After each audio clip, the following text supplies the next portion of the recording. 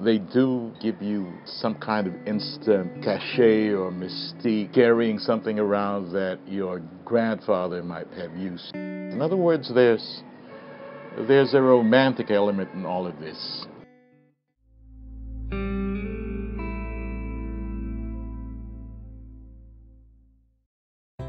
I'm Butch Dalisay. I'm a professor of English and creative writing at the University of the Philippines. I write for a lifestyle column for the Philippine Star. And basically, I write books, uh, stories, plays, biographies, histories, and, and, and so on, which uh, finance uh, all of these things. I, I started collecting fountain pens back in, in graduate school in the United States around the mid mid to late 1980s. So I've been doing this for about uh, 30 years now. I started with vintage fountain pens. My collection runs to about 200 pens, half of them vintage, half of them modern.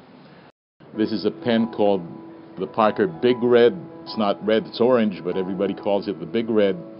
And this kind of set the template for fountain pens for for many decades. This is the classic, iconic uh, vintage fountain pen.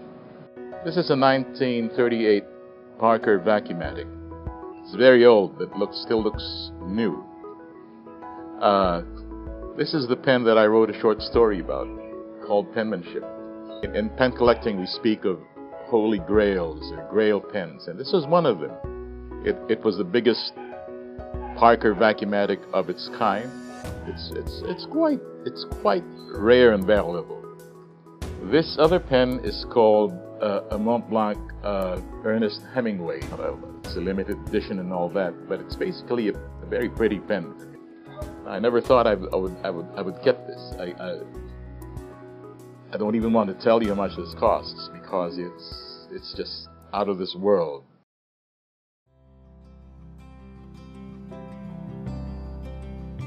I'm 61 now, and I figure I have about maybe 10 good years left. And I would like each one of those years and each one of those days to be a happy one with, uh, with a nice pen in my pocket.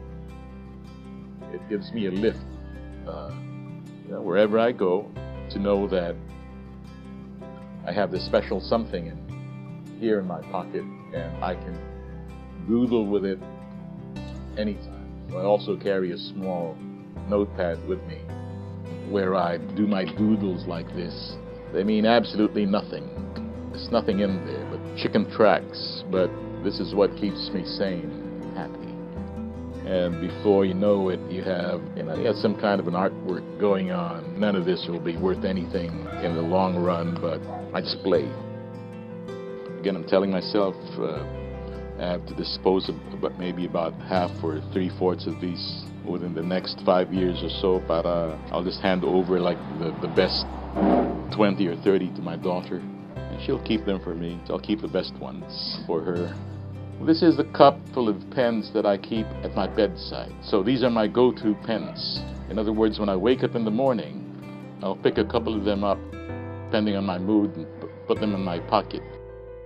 In, in pen collection, uh, the bigger and fatter, the better. It's like my pen is bigger than yours. You know, the handwritten note or letter is, uh, is a luxury these days, in these days of email. And that's what we always say about our hobby. It's, it's a very personal thing.